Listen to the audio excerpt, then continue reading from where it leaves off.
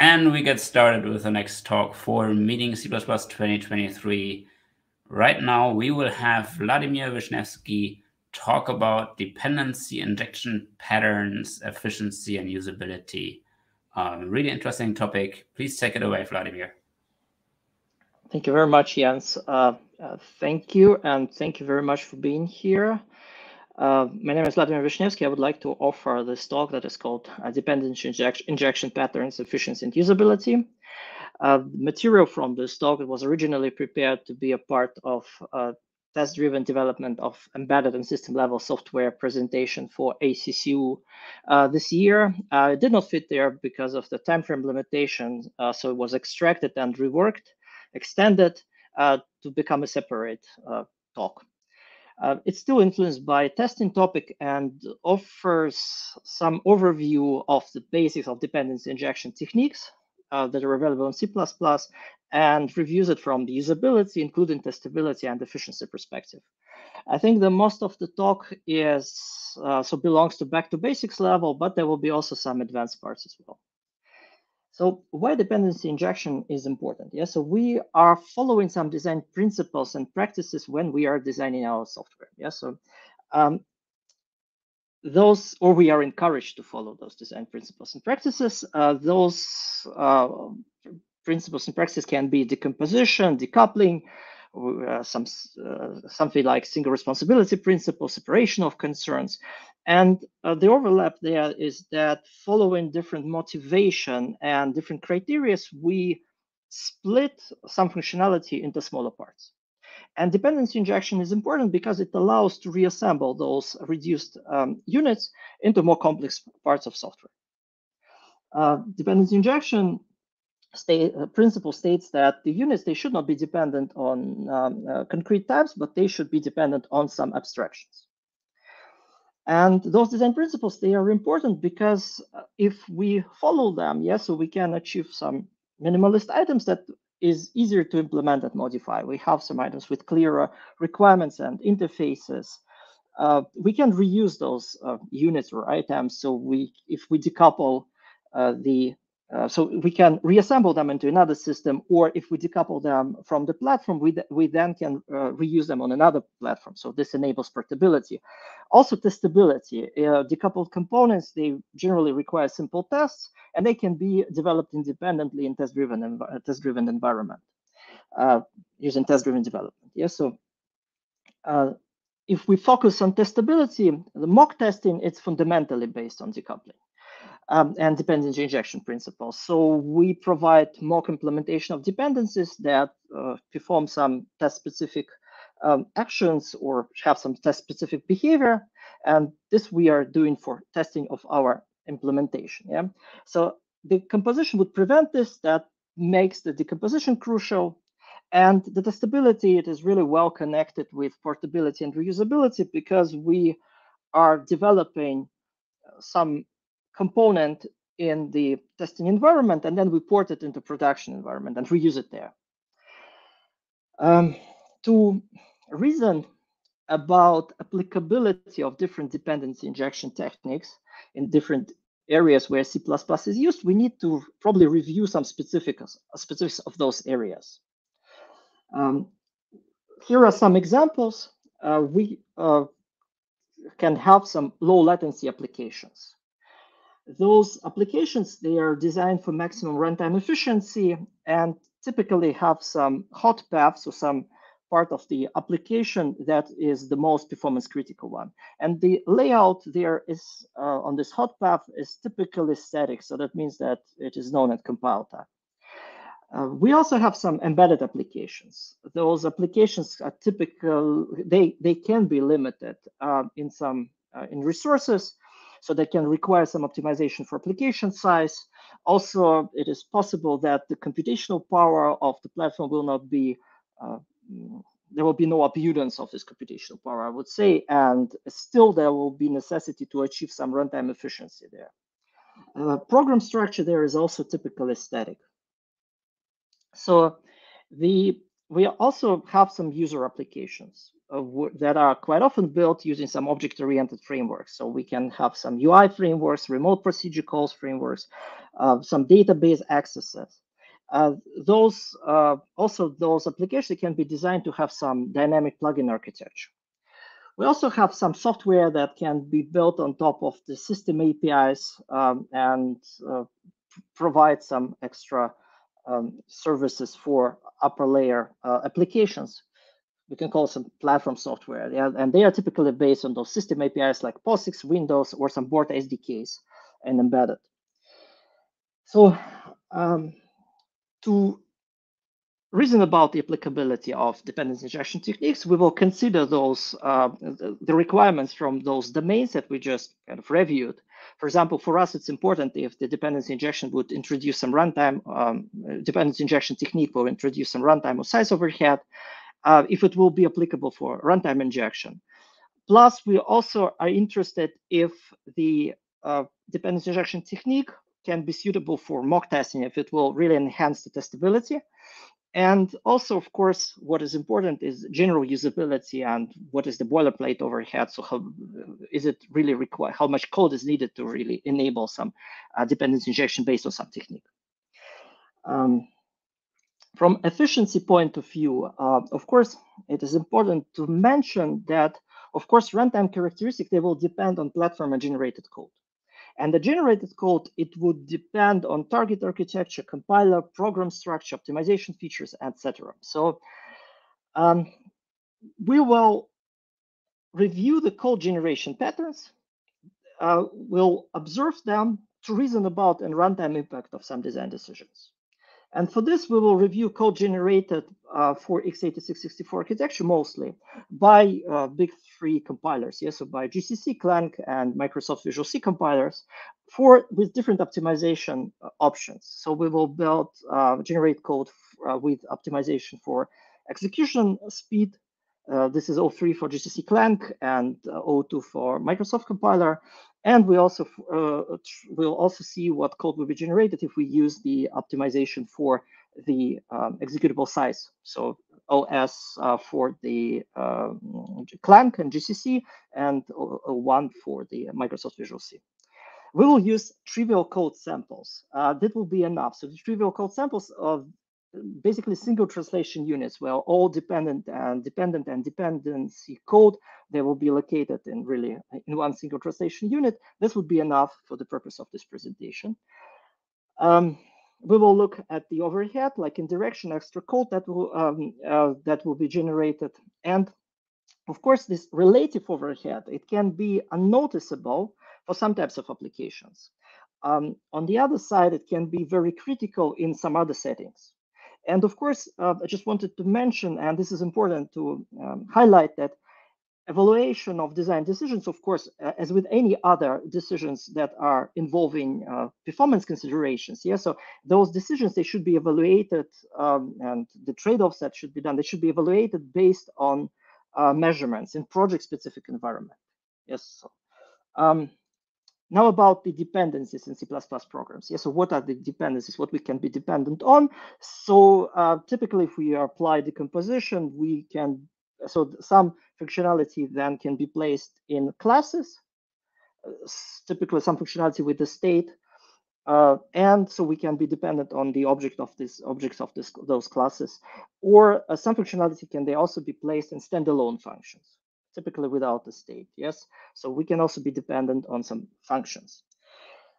Um, and dependency injection techniques that are available in uh, C++ language, they are uh, uh in, on, on language level are the inheritance-based runtime polymorphism, uh, polymorphic function wrappers. We also have um, inherited from C the function pointers, that still can be used.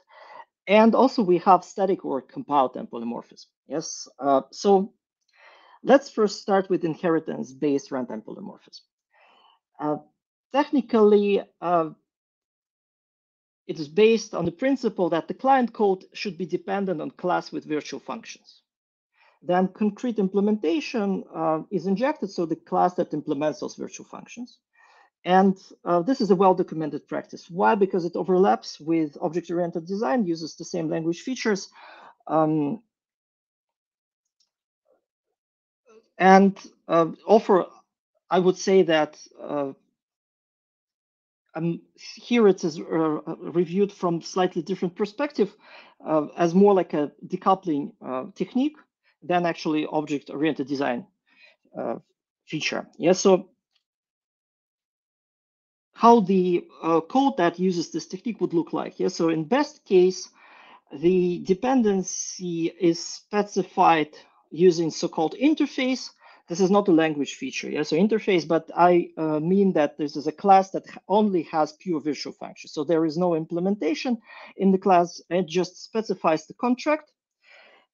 And the uh, dependent code just uh, accepts uh, the this uh, interface. In my case, it does this by reference because it clearly specifies that the dependency is needed for the function. Yes, and um, also the interface can also be uh, declared in a way that it can also specify what kind of ownership is then implied. For example, here the interface has the protected uh, destructor that prevents the destruction of the inherited uh, injected object from uh, using this interface. Uh, so this clearly, so this first of all, this prevents and also specifies um, uh, that so prevents the destruction plus it specifies that the ownership is not passed into the function. Yeah, so the ownership is still controlled by the client code.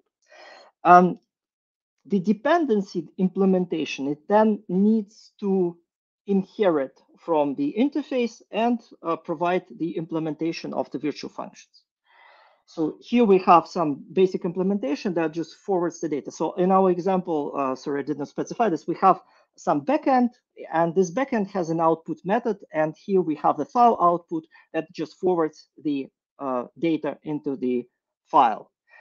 Um, if we would like to slightly modify this uh, implementation, for example, would like um, this file to be passed as a reference from somewhere, as from outside, or uh, just use a different stream, we will need to have another implementation or use some templates. But anyway, we will need to have a different instantiation of uh, the uh, dependency implementation. If we will need to uh, have some dumb implementation that will be doing nothing, like just not, will not perform any output, we'll need to have another type as well. And um, if we need to forward a standalone function, uh, we will then also need to have it wrapped into another type. Yes, so here we have another implementation that just forwards the call to the standalone function. Uh, like here, so uh, unfortunately, uh, this would be required. From testability perspective, uh, this is also well-documented practice because it is typical for object-oriented design as well. So we have, uh, we can implement the mock uh, object, the mock class, and then we can inject it instead of our uh, production implementation, uh, setting up some expectations and specifying the behavior that is specific for the test.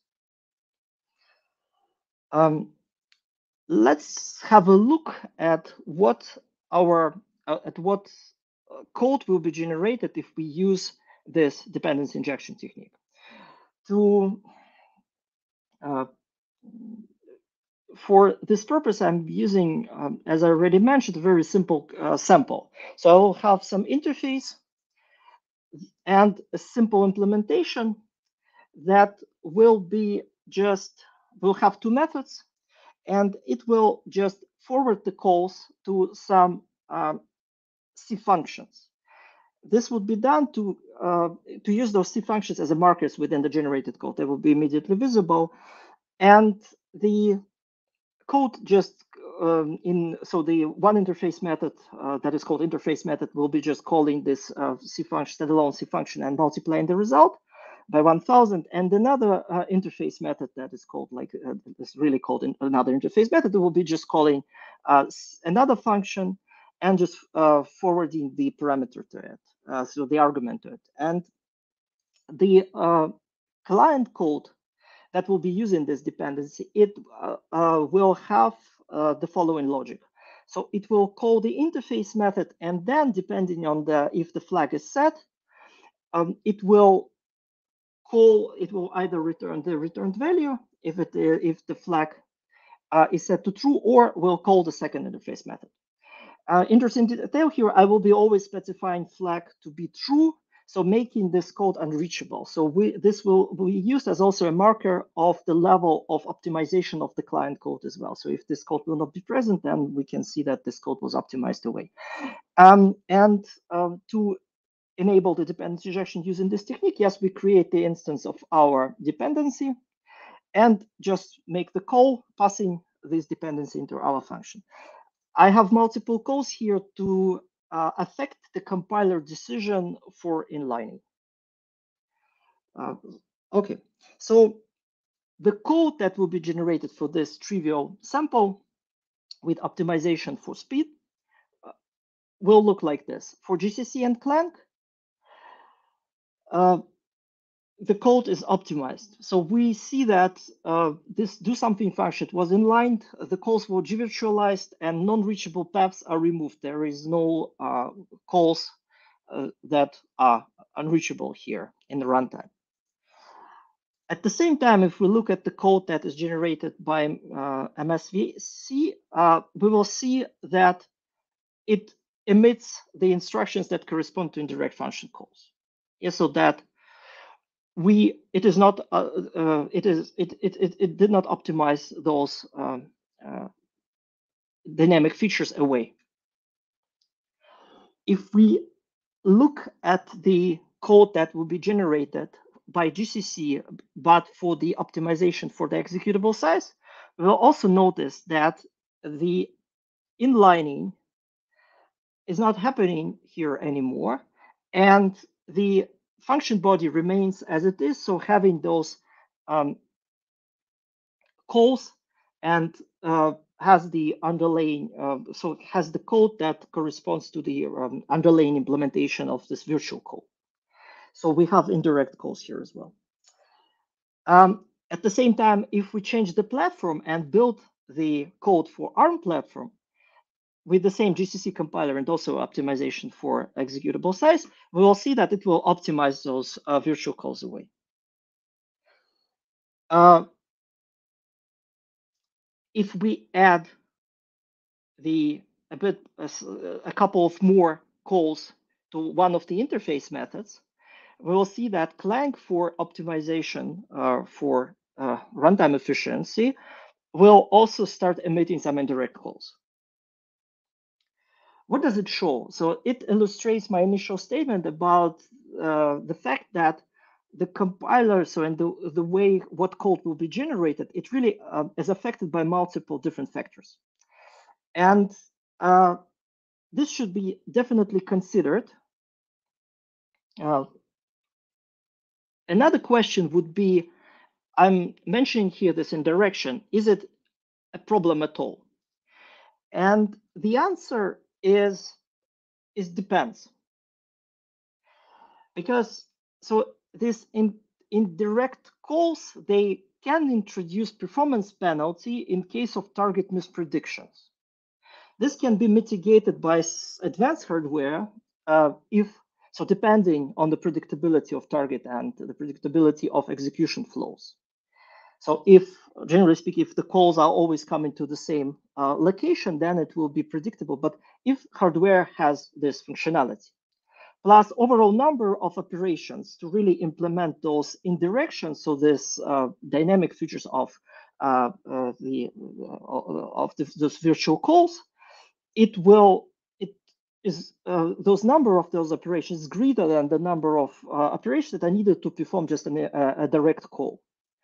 Plus, uh, those operations, they include those uh, multiple um, memory accesses um, in form of the uh, this pointer chasing kind of multiple uh, consecutive memory accesses. And of course, real life impact uh, would depend uh, on project parameters and requirements, but it's important to understand what is happening under the hood of the if some techniques are used. Also, one more detail is that the Uh, if the dependency and dependent code are located in different translation units, then also most likely the um, indirection will be uh, emitted. Uh, for example, here there's GCC with optimization for speed. It still um, implements those um, indirect calls, so some virtual function calls. And this can be um, uh, optimized by link time optimization if those dependencies are, can be resolved during link time. This is an important uh, feature that also should not be neglected. Yes, so here we see that those indirect calls, they were substituted by direct calls during the link time. Okay, so to summarize, uh, inheritance-based runtime polymorphism, advantages. So we see that, yeah, so it works for runtime injection. Uh, that is suitable for various uh, cases where we need uh, dynamic configuration or when we need to use some dynamic libraries and plugins. Uh, we also can achieve uh, separation of compilation units. So the whole and all and isolation of implementation details. Yes, so we can have the whole definition and declaration, everything to be sealed in the source file, and only the interface can be exposed.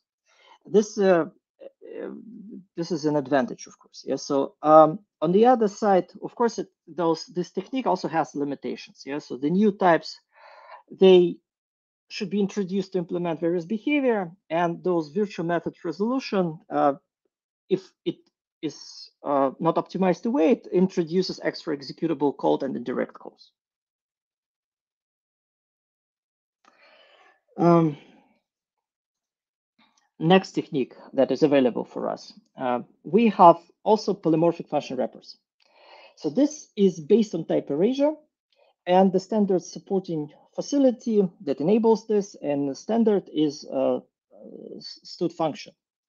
There are also some um, alternatives, including non-allocating alternatives. So for example, EASTL fixed function or SG14 place function, those they do not uh, need to allocate on the heap for capture list, uh, so that makes it suitable uh, for uh, in the environments where the heap allocation can be syncretical.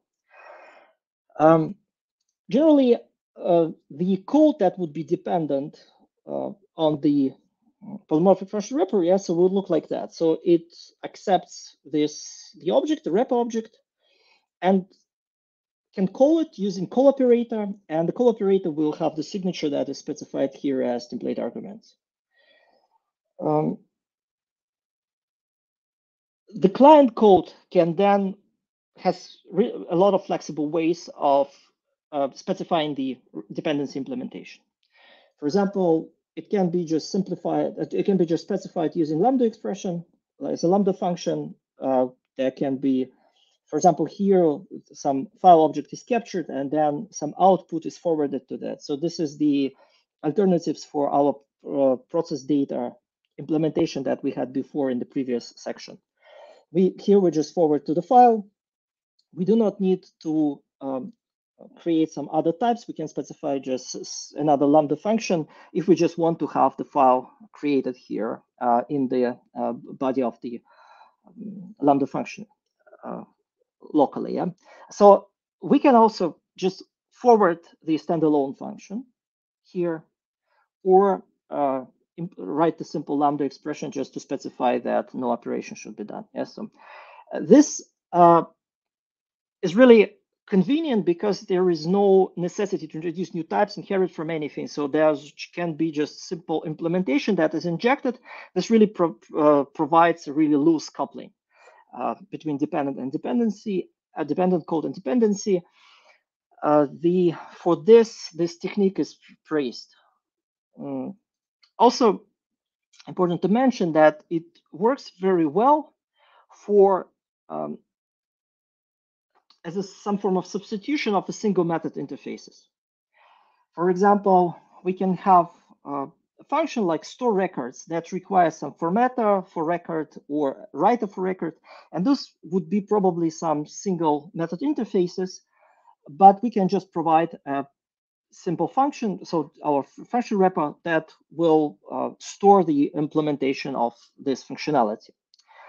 Uh, similar thing with some um, IP address resolver that can be just injected into some function that implements connection to host. Uh, also can be used to implement some um, factory function, like here in the load configuration, there is a necessity to uh, uh, to create some plugins based on the name, and uh, we can just in inject this functionality into the load configuration file. For testability, it's quite convenient way um, because we can just simply, regardless of what is injected in production code, here we can just uh, inject, uh, so forward the calls to some mock object that we can capture.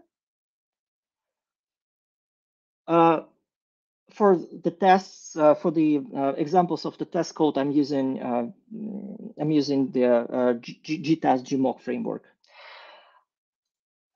Or uh, we can just uh, just forward the mock object by reference if it has the implementation of the call operator. So offer it will still need to to forward the call because we cannot mock just the call operator, but generally, it is uh, convenient because uh, regardless of what we injected, including also standalone functions, we still can check that the calls uh, were correct. Yes, so just injecting the mock object. And from uh, efficiency point of view, let's look at uh, the code that will be generated for this technique. We are using here again our do something function that has the same logic. We call one function, uh, one wrapper object, then um, in case of the, uh, if uh, the flag is not set, we can call another one. And uh, those are the two wrappers that are injected. And we inject uh, the same logic that we had before. So we just uh, have a wrapper that multiplies the result of some standalone C function, and we inject some C function directly because we uh, are not anyhow altering its result, or we just need to forward uh, the, the argument to it. And uh, if we look at the code that is generated, this is the code that is generated by GCC for um, runtime efficiency optimization. We see that there is a massive overhead here. Uh, the a lot of code is generated and there is indirection here. There is there are also some checks because the because the object should throw if it does not uh, hold the function if it's empty. We also have uh, some uh, resolution of what is really stored there because so we have here the uh, type erasure implementation. Um, so we see that, yeah, there is a clear um, trade-off between usability and some uh, performance here. Interesting detail that Clang actually has a feature it can optimize this away. So it really optimizes well those wrappers, uh, especially std function. It also can optimize away the um, uh, the alternatives like STL, EASTL function, fixed function. But with STD function, it really uh, performs the uh, so works very well. But this is when uh, the injected type is really known during the compile time. So again, in a, in a very um, simple, trivial case. But unfortunately, yeah, this is the unique feature. Um, Microsoft compiler will produce something uh, similar to what GCC, uh, GCC uh, uh, generated. So some um, overview, yeah, so some, some summary polymorphic function wrappers, they definitely have advantages. Yes, so we do not need to introduce new types. Uh, their dependency can simply be adapted using lambda expressions. Uh, translation units, uh, they can be separated as well because uh, because the uh, the type that is stored in the function is erased. So that means that it also can be implementation can be hidden and only the function can be then just provided to the client code. So the, the wrapper can be provided to the, to the client code. And uh, it's, of course, applicable for runtime injection. So it can be injected uh, on the runtime. And we can also inject standalone functions without necessity to wrap it.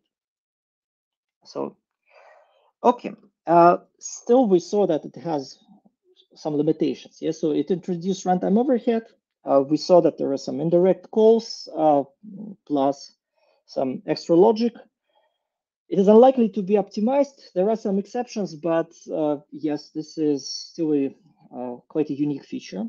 And uh, we need one wrapper object per interface method. Yes, so if the interfaces are more complex, uh, and in some cases they are, so it might not, might be uh, not well scalable. Okay, so uh, function pointers is the next uh, technique and runtime technique uh, that is available in C++ programs. Uh, this is based uh, so this is a technique that is uh, available since C language. It's inherited from C, uh, but it is still used, especially in the areas where C++ um, needs to interact with C code. Uh, the idea is that the pointers to functions are just passed to dependent code. Uh, it is very widely used in um, embedded and low-level software, and it enables polymorphism in C programs so uh, uh, how does it look like? So the to use this technique, we typically pass either a single function pointer or we can aggregate several function pointers in the structure um, like here, and then we just pass it uh, into the function. So this is uh, the technique that is really can be seen a lot in C code. C++ version can be slightly modified and modernized so we can have this left to right uh, function pointers declarations uh, using this add pointer t alias. Uh, but the kind of uh, usage will look the same. Yeah, so we can pass uh, these set of so not the set, but just actually this aggregation, table of containing those function pointers, and then we just call them indirectly. Um, what is quite important, um, unfortunately, this is quite rare the case, but the uh, those um, aggregated function pointers, they also can uh, be associated uh, with some context. And this context, it can be just uh, passed in form of void pointer to the uh, dependent code. And this dependent code then can call uh, the, the functions just passing this context into those functions. This could uh, provide possibility to really associate some data with the function calls and uh, significantly enhance interoperability between C++ and C code because this can then, the call can then be associated with some object. And uh, if the C and C++ code are co-designed to work together, then this is the uh, implementation, so design design detail that um, shouldn't be neglected. It really simplifies interoperability. Um, okay, let's look at what code is generated for, for functions, uh, for function pointers. We can have uh, the, so our sample code is again the same. We are uh, using the standalone C functions we also have this wrapper to alter the result of the function call uh, here, and we are just assigning those. Uh, so we are uh, initializing these function pointers uh, within the structure using this wrapper here for yeah instead of just a, a direct call because we need to multiply the result by 1000 and uh, here we are using C++20 feature designated initializers. So they are now available, unfortunately only starting from C++20, but of course it makes code uh, more readable and actually safer. Yes, so that we really specify proper, uh, that we initialize proper fields here. And then we make multiple calls again, and we can see that even uh, uh, for uh, yeah, we provide the function pointers here. So we, yeah, we can see that uh, it is uh, well handled by the compilers. All of the compilers, they uh, eliminated the indirections. the, so and also all eliminated this unreachable code. So they optimized the client code uh, well. Yes, some of the compilers also optimized the mathematical um, expression here. We had multiple additions there, and uh, it takes out the multiplication then. Um, so just uh, producing more efficient mathematical expression. Um, unfortunately, if we start experimenting with different uh, parameters, we will have same effects that we saw uh, for the um, inheritance-based runtime polymorphism. For example, here, if we uh, built by GCC for uh, with optimization for executable size, we again see that the do something function will not be inlined and the uh, body of the function will contain those um, indirect calls to the function. So, and the wrapper function that was inlined uh, in our previous example now uh, is not inlined anymore. So there is a, so again, uh, we see that, yes, the um, uh, underlying implementation, and this is like an explicit indirection because we are using the function pointers here, it can then, uh, this, this implementation can just stay in the code depending on how compiler is optimizing this. And this is again, uh, a simple, very, uh, a simple trivial code sample where everything is visible for compiler on compile time, single translation unit. Okay, uh, the advantages, yes, of the function pointers technique. So we, uh, it works for C code. It can be used for uh, standalone functions, and um, and can be used for runtime injection as well. Yes, so this is those are the uh, the primary advantages. Uh, on the other hand, it they introduce indirect call overhead, if not optimized away. Yes, uh, that can this overhead can this indirection can prevent compiler optimization, uh, further compiler optimization, and also function pointer they are not associated with an object if not designed to accept this context. Yes, uh, so that means that if we need to from these functions uh, we need to have uh, we need to associate some data with those function calls. For example, some state, we will need to use singletons including we will, including uh, test scenarios where we will need to have some singleton mocks. Uh, this is not uh, very very good. Yeah. Okay. So generally, the technique uh, seems to be applicable for uh, interaction with C code, but unlikely to be really useful in the C++ programs where other options are available. Okay, so now a couple words in general about optimizations for the runtime polymorphism and for different options that involve this runtime polymorphism that we mentioned before. So we can see that optimizations, those like removal of indirection and inlining, they are not guaranteed. Yeah, so they are features of the tooling, and sometimes they can happen or not. And we saw the different cases where uh, this optimization is actually was impossible, did not happen. Um, if dependencies can be resolved only at runtime, then of course, uh, then we will have the uh, uh, indirection because this is how this dynamic binding is implemented. If dependencies um, can be resolved at link time, then LTO is, poss if, is possible if it is available and should not be neglected. Um, if dependencies and dependent code are located in a single translation units, uh, the way in the way that we use in our examples, this can provide a maximum uh, level of visibility for compiler and enable the, the, maximum level of optimization possibilities. But generally, it defies the dynamic features of those techniques and uh, also defies the source code isolation.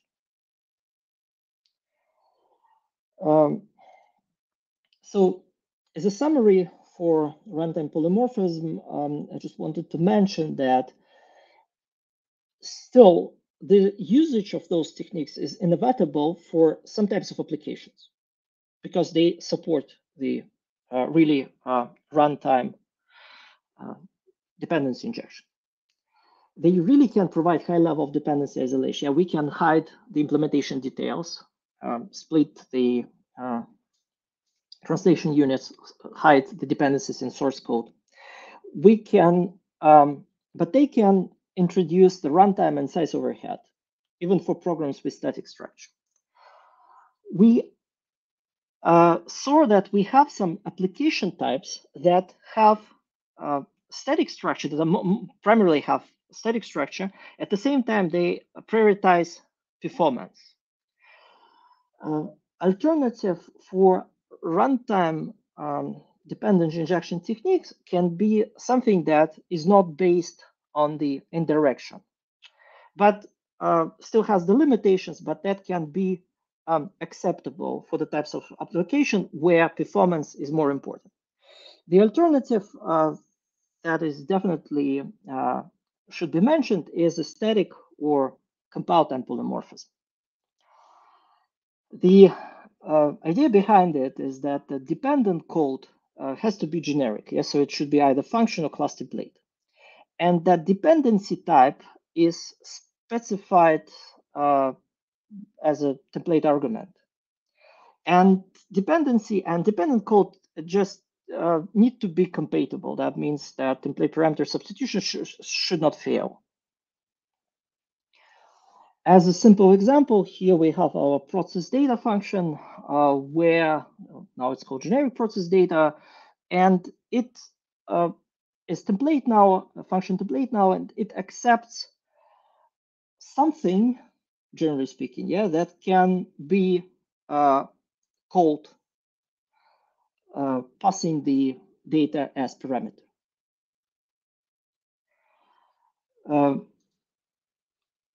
Then the use cases for this type of injection can look visually very similar to what we had with polymorphic function uh, wrappers. Yeah, so here we also can specify the some lambda expressions, so we can inject some closures. Uh, we can also inject the standalone functions. We can inject the uh, we can yeah simply uh, have the same lambda functions that we used before. The difference here is that, that those are all different instantiations of the um, function template. So those are all different uh, instances of the function that are called here, having different dependency types. Um, from performance point of view and the generated code here, uh, let's do another experiment. So here we again have the same layout of the client code, of the dependent code. We have two functions and uh, we pass those functions. In one case, we pass this again this wrapper. Another uh, case, we pass the function directly. And the generated code uh, will look, uh, so will be optimized. Yeah, so we can see that again, uh, free compilers for optimization for runtime um, runtime efficiency, for uh, runtime speed uh, will uh, optimize this well. Yes, so again, eliminate indirection. Again, unfortunately, if we use the uh, change the optimization parameters, like here GCC for size, we can notice that the we will again see similar layout as we saw when we used the function pointers. We'll see some indirection. And this is happening uh, because actually we injected the function pointers. So we here pass the function pointers into our function template. And this uh, affected, of course, the generated code because the dependency type would be really like a, uh, like a, a, function pointer. So that means uh, we uh, uh, the call was not inlined and the function pointers, they just stayed the same way as they were kind of provided into the template. So here the functions are injected. It is visible from the uh, uh, uh, from the um, types that were deduced by the compiler. So um, alternatively, if instead of passing the function kind of directly, we can wrap the calls to the function into Lambda expressions and Lambda functions and inject the corresponding uh, closure objects. And in this case, if we just do it like this, will the code that will be generated will not contain any indirection because there was none in the source code. There were no uh, indirection uh, because the function pointers were not involved. Only direct calls were performed in the call operators of the closures that were generated. So here we see that the code is uh, optimized, yes, so that uh, the dependent function is inlined. The wrapper still still is not inlined, but there are no indirect calls.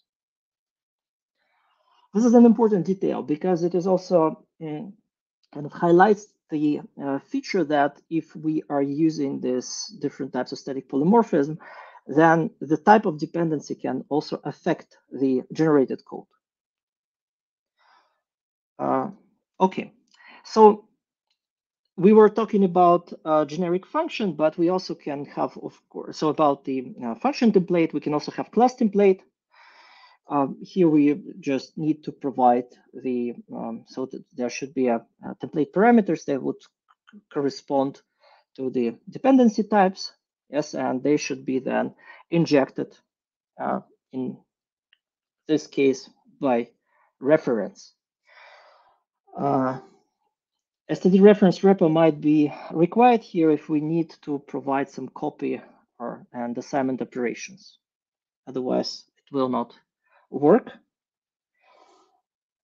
Instead of uh, multiple dependencies, one single class that uh, implements this API or provides this functionality can be injected. Yeah, so here we combine two different um, methods and just made some dependency type.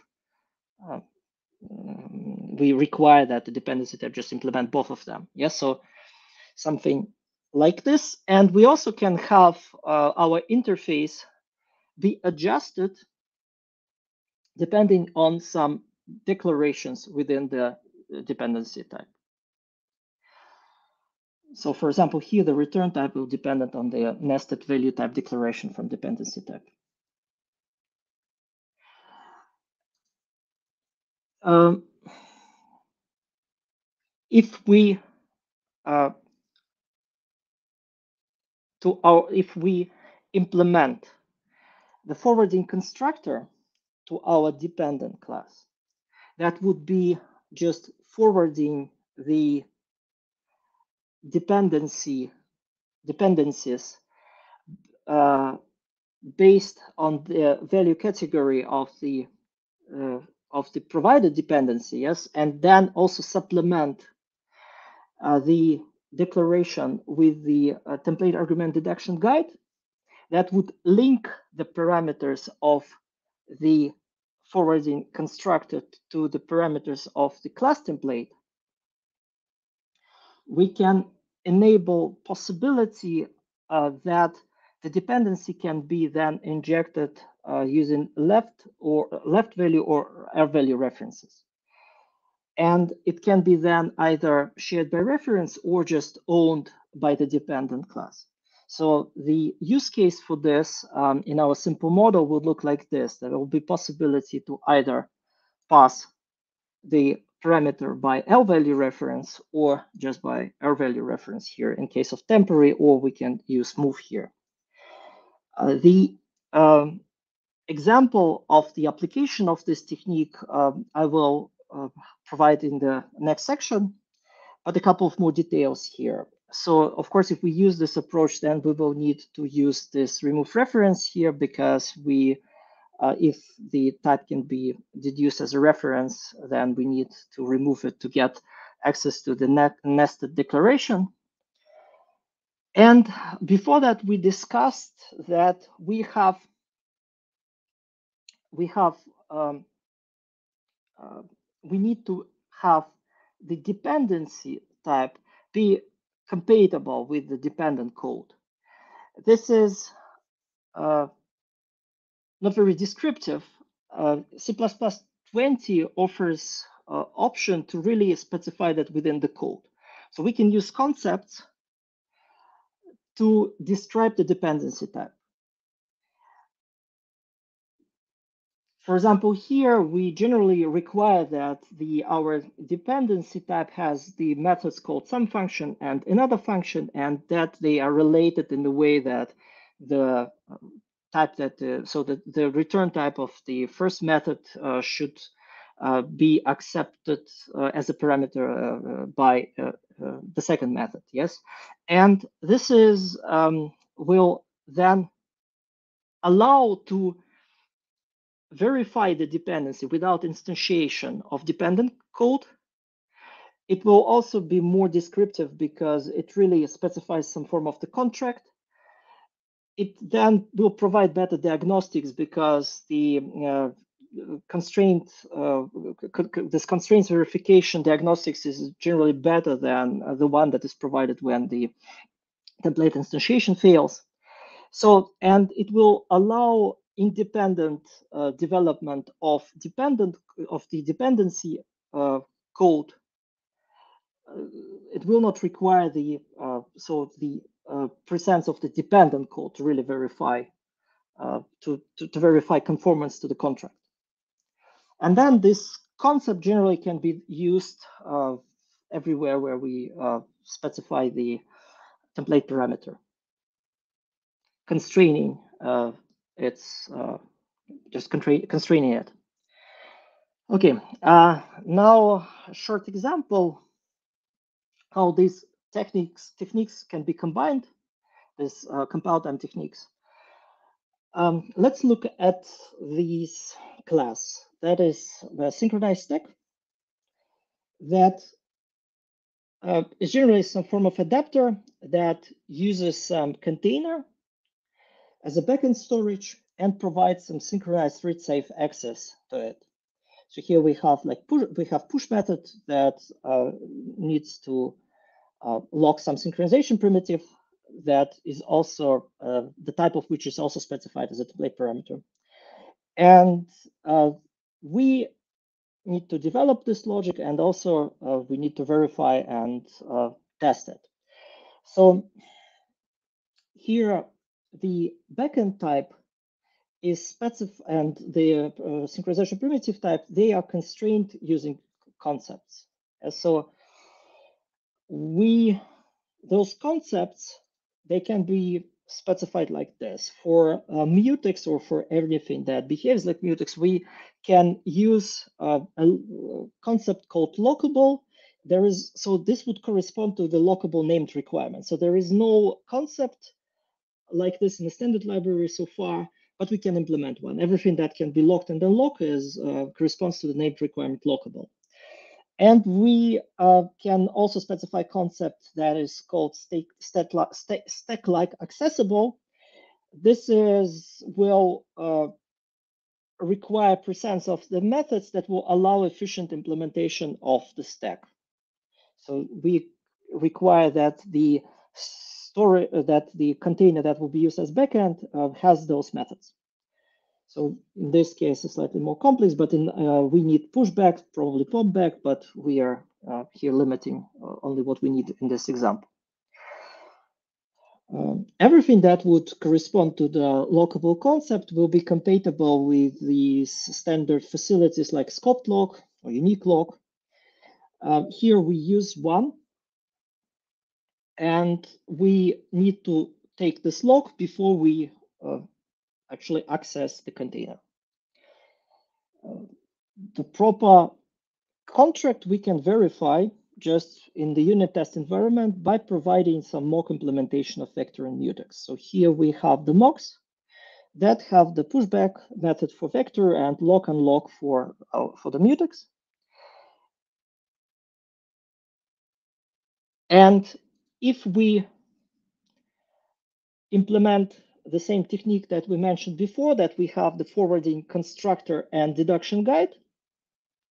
So here the types and so uh, the types uh, of the uh, to the arguments of the constructor uh, will then specify and define the uh, arguments of the whole class template.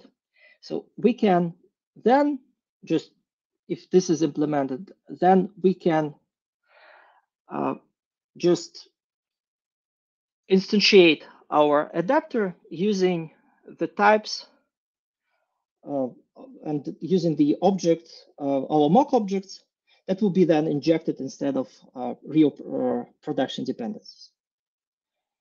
So here we constructed passing those uh, references to these mock objects, and then they are then become arguments of the synchronized stack class template. So having this, we can then just simply specify our expectation that the calls to lock, pushback, and unlock is happening in sequence. Then we trigger our API function of synchronized stack, and we need to, and if everything is um, correct, then we can pass the test. The potential issue that can be found here, for example, if we have this uh, temporary uh, lock, we forget to, if we uh, forget uh, to give uh, a name to it, then it will exist only on this line. So that means that lock and unlock will be happening before the pushback is happening. So we can verify the contract. And as we have also default uh, parameters for, uh, uh, so default types for template parameters, and also we have default constructor, we can still create our synchronized stack just providing the value type that we want to store here. And then the default types will be used. In our case, it will be vector and uh, just a, a mutex. If we would like to adapt already existing objects, then we also can use it similar in a way similar to our vector, uh, to, similar to the way how we did this with the mock objects before. Okay, so last detail that I wanted to mention. We saw that we are quite limited in the way how we can uh, how we can um, inject the standalone functions as dependencies. Or for it, sometimes it is necessary because they can implement some logic that uh, can uh, be uh, mm, that that that first of all should be sometimes should be uh, substituted by some uh, mocks for testability. In some cases, it just really should be should, should be dependent uh, on the, some uh, environment and, for example, on the platform. So we can inject a platform-dependent API, for example. Uh, and we saw that we can do this using the function pointers. We can do this using the polymorphic function wrappers, but those are those runtime techniques that can introduce these indirections we saw before. Yeah, so um, alternative to this is to wrap those calls into some uh, into uh, the some into methods of some objects that we can um, inject instead. So we see sorry an example where we just wrap it into the um, closure call operator, yes, so, uh, using the lambda function. Another way is just yes to try to attach those standalone functions and wrap them into the methods of some structure that we can then also inject uh, in the class of function template. Um, in this case, we forward uh, those calls to the C function or another function. This can be generalized to avoid uh, some potential uh, defects in the forwarding of arguments or uh, in, or in the forwarding of return value. So generally, we can uh, use the perfect forwarding here just to simply forward everything that will be fast, everything that will be passed for the um, class method to the standalone function. This can also be then um, uh, just wrapped in some um, macro definition here. Uh, so this would allow some form of uh, attaching of the standalone functions to the to some class. Uh, here we are using our macro, and this would uh, be expanded to something like this. And this also enables the testability. So if we have some code that is dependent on some API, attaching those to, to, the, to an object and injecting the mock instead of the uh, real um, implementation that really forwards to their uh, production API can then be used to test the dependent code. So with uh, still there is no polymorphism uh, like runtime polymorphism involved here. There are no function pointers involved here. The code remains suitable for further compiler optimization. Okay, so a couple of uh, uh, couple of words as a, a summary for static polymorphism. So we see that the indirect calls they can be avoided. It provides really good potential for uh, inlining and further optimizations. So, uh, and it can be used to substitute dependencies on concrete types. So we do not need to uh, be dependent on some interfaces, like on the on the on the function with uh, on the classes with virtual functions. We also do not uh, involve type erasure somehow here, so we can just have already implemented concrete types, and we can just inject them. They just should follow some contract. But limitations are also quite obvious. Yes, so the dependent code it has to be generic. Uh, the dependency injection is only happening on compile time, so it's static.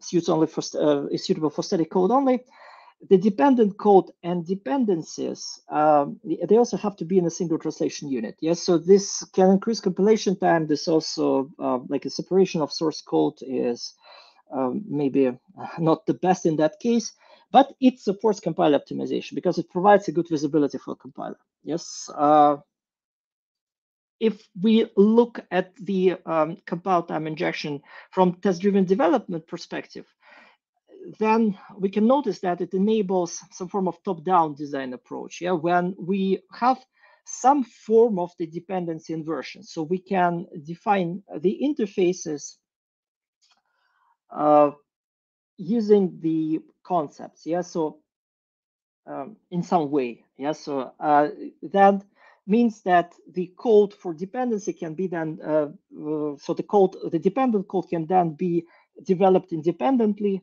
and uh, the concept will specify the contract for for dependencies. Yeah, so um, and also apart from top-down approach, it also enables bottom-up approach. When we already have some um, components that we would like to use uh, in some code, and instead of using those existing components, we can start building our code using some uh, mock implementations to verify the logic that we are developing without being dependent on these concrete types. And then in production environment, we then can inject those. So this was demonstrated by our examples with the vector on mutex. And um, we can really achieve some decomposition without runtime overhead. So if we need to have some decomposition for to increase testability uh, without sacrificing the uh, runtime efficiency, this can be achieved uh, using uh, compile time or static polymorphism. So short summary, uh, yes, so runtime uh, techniques, they are suitable for dynamic program structure. Uh, because of this, yeah, the way how it is implemented, there can be some extra code and indirection that can be unacceptable for performance critical areas. This should be considered. We have their dependency on compiler optimization capabilities. So generally, if compilers can remove this indirection, devirtualize calls if their uh, link time optimization is available. Static uh, polymorphism, uh, it does not involve any indirection of virtual calls. It is unlikely to inhibit compile optimization, so but it's suitable for static program parts only. Um, short, uh, the summary for performance considerations. Yes, so it is important to reiterate again that the design decisions, they are always should be based on uh, measurements in the specific settings where the code will be really running. Behavior of tooling can be different. Yes, so the tooling that is used in the project, it should always be considered in a concrete project, yes. So the uh, of course, runtime and uh, size overhead, it depends on compile optimization. So the proper options, they always should be, they, they should be used, the proper compiler options, yes. And compiler uh, optimization can be inhibited by indirection that what we saw, um, those compile time solutions, they do not introduce indirection. Uh, if we not explicitly, uh, if we are not explicitly injecting the function pointers. Yes, so we need to be careful here, but generally the compile time uh, injection is not based on indirection. And it is unlikely to block this compile the compile optimization effort. And yes, compile, we can say that compile time polymorphism uh, is preferred for decomposition of the functionality on uh, some application hot path. Um, I mentioned at the beginning, so there was another talk, uh, test-driven development of embedded uh, and system-level software, for which some of this material was prepared. It is more focused on test-driven development, of course, and it has more details from test-driven development perspective. So if there is interest for that, uh, then please also uh, refer to it. Uh, that's all from my side. Uh, thank you very much for attention. And if you have any questions, let's discuss them. Thank you for your talk. This was really uh, nice to hear about dependency injections and the various patterns for it and C code and comparisons. Um, very interesting. Um, if you have any questions that you didn't get answered during the talk or want to generally talk to Vladimir, he'll be available in the lounge. And this is kind of the last talk for today at the conference. So, um, you know, take your time. And uh, Vladimir will be in the launch for the next 20, 30 minutes. Um, if you, Thank you very much. Uh, thank you. Let's go there. For your talk. And with that, I'm going to end um, this live stream.